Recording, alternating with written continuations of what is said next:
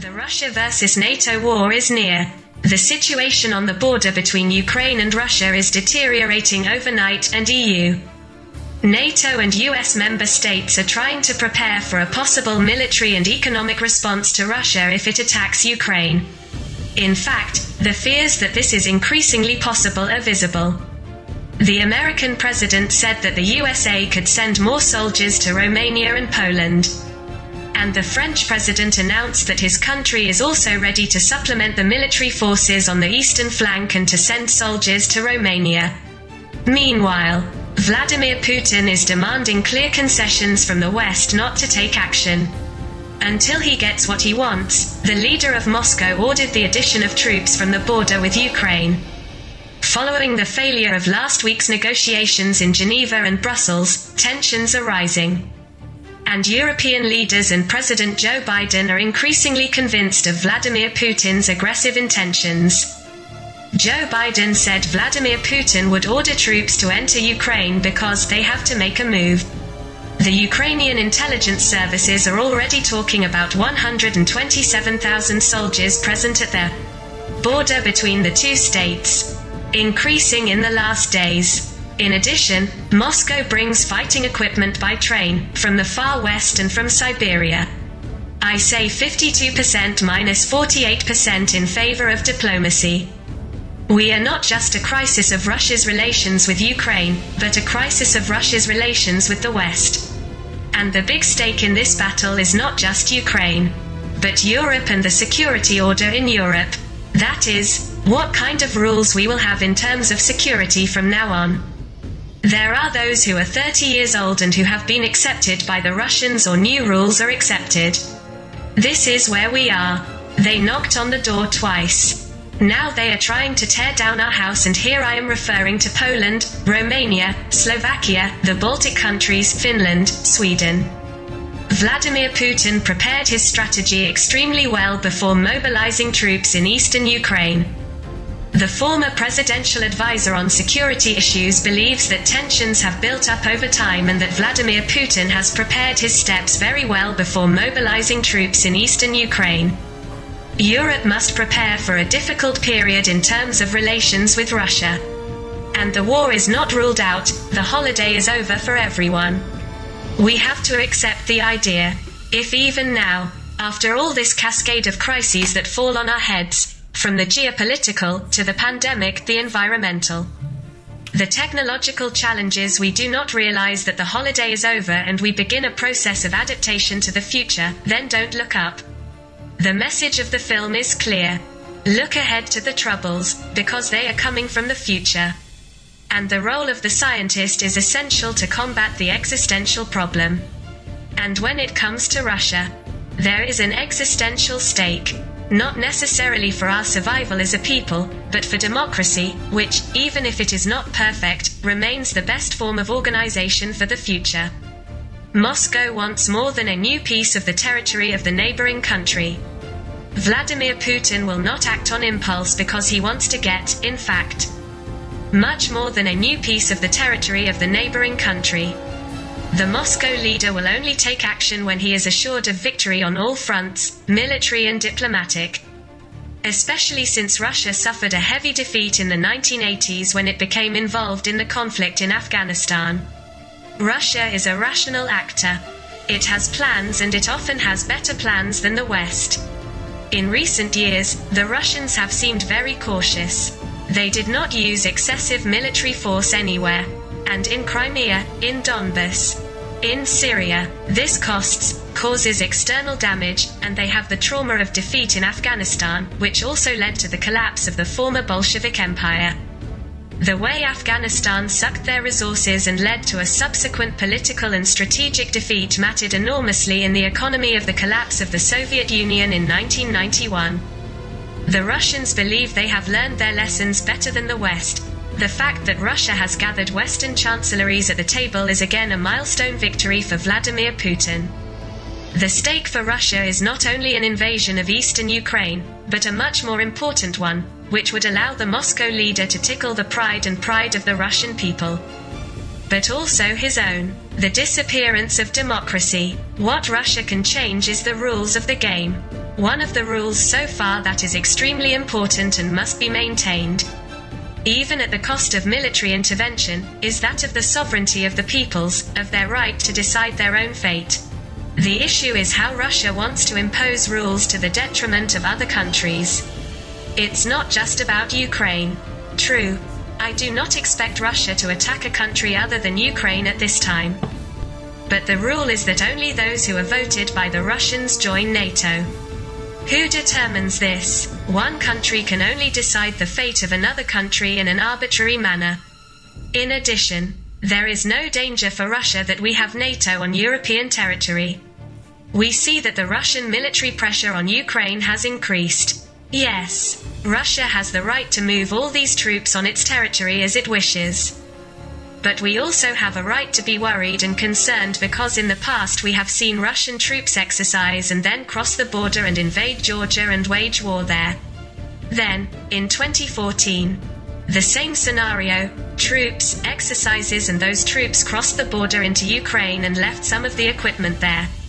Going through this once, we are now very careful. The Russians are very good at playing us out of uncertainty. In recent years, they have moved in and given us new jobs. They came up with something and we stayed the nights and we thought, what are the intentions? What do they want to do? High level negotiations continue between Russia and the West, with diplomacy being the most sought after way to avoid armed conflict. European and American leaders are threatening Russia with very harsh economic sanctions if it orders its troops to cross the border. Some much harsher than those imposed after the 2014 Crimean invasion. The worst case scenario in international relations is war. The worst case scenario in international relations is war. Because war has the greatest destructive force. No other phenomenon has such a destructive force. A war can lead to the disappearance of a country on the map. See the case of Poland throughout history. A war can tear apart a piece of land, as was the case with Bessarabia or as happened in Ukraine in 2014. This is where all these efforts are going at the moment. They both have weapons, and if the military conflict were limited to Russia and Ukraine, it would still be a tragedy. I am absolutely convinced that the Ukrainians will respond with much more vigor, much more strength than in 2014. This is also known by the Russians. We must continue to look for ways to ease the military situation.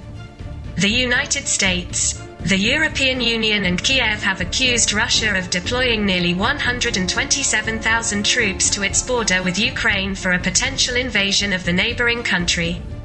However, Moscow denies that it has such an intention and assures that it only wants to defend itself against NATO's threatening position near Russia's borders.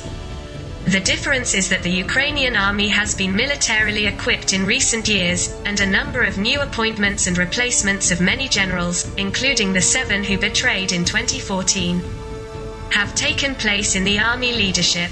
In my opinion, Ukraine will defend itself very strongly, it will give a very strong military reaction to the Russian attack, if there is such an attack.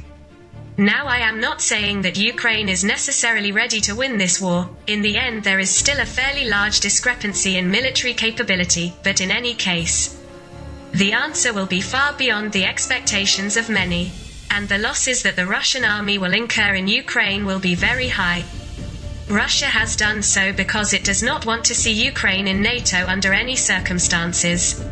After 2014, talks on Ukraine's accession to the North Atlantic Alliance were resumed by current President Volodymyr Zelensky, and Russia knows that if it invades Ukraine, it will also stop its entry into the alliance. No one can receive in NATO a state occupied by foreign troops on its territory, because once it has received a state in NATO, According to Article 5 of Collective Defense, allies must automatically intervene to defend the territory of the allied state. So receiving Ukraine would be tantamount to the West entering the war with Russia. Realistically, no one wants a war, and for this practical reason. An invaded Ukraine becomes ineligible for NATO membership. So it is clear that Ukraine will be blocked. What other tools does the West have to stop a war? President Putin is well aware of one thing that the United States, NATO, the West will not go to war for Ukraine. The situation is such that in the American society so ideologically divided, weakened by the cultural wars, and in no case is the issue of entering the war for Ukraine. And President Biden has said that it is by no means an option for us. But we are considering a very tough package of sanctions. So the safe instrument that the West has at the moment is this sanctions that are supposed to be of an extraordinary level of severity. One of the harshest restrictions would be to disengage Russia from the SWIFT system of financial banking transactions, when virtually no more credit cards could be made and used on Russian territory. Another unprecedented sanction would directly target President Vladimir Putin. I heard for the first time this week about President Putin's blockade, that is, the introduction of sanctions against President Putin himself, that he will no longer be able to move or go to foreign properties.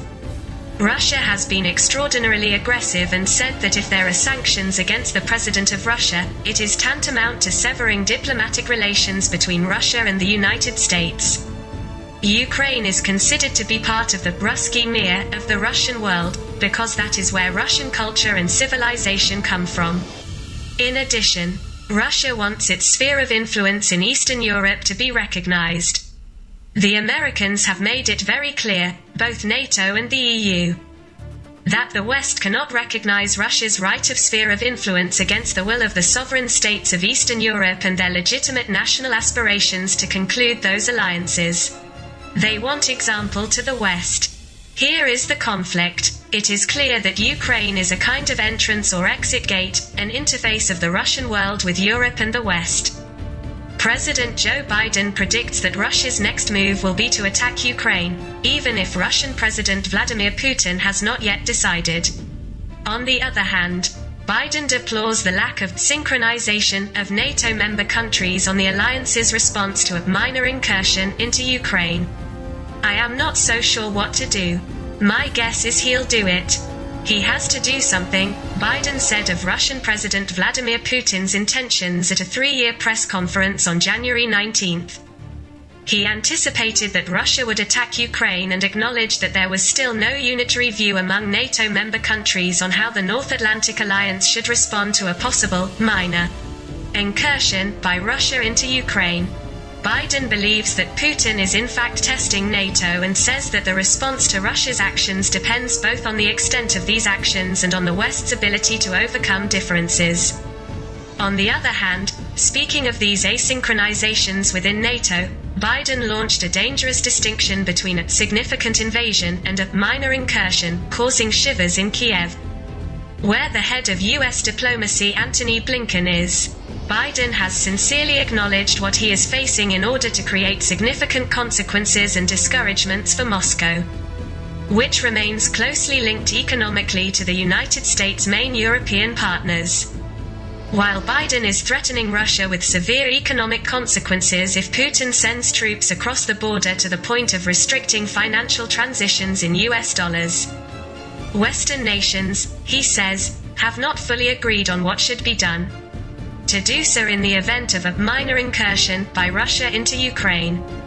It is very important that we keep all NATO members on the same side. I spend a lot of time on it and there are differences. He said, There are differences in NATO about what countries are willing to do, depending on what happens, Biden said. Unnoticed in Kiev, where officials met with the head of US diplomacy. Antony Blinken, during which time Russian troops were still gathering on the border with Ukraine. Biden's assessment of the US president's dissensions within NATO. Even though US and Western officials are constantly trying to project a message of unity in the midst of the crisis, has simply horrified Ukrainian officials.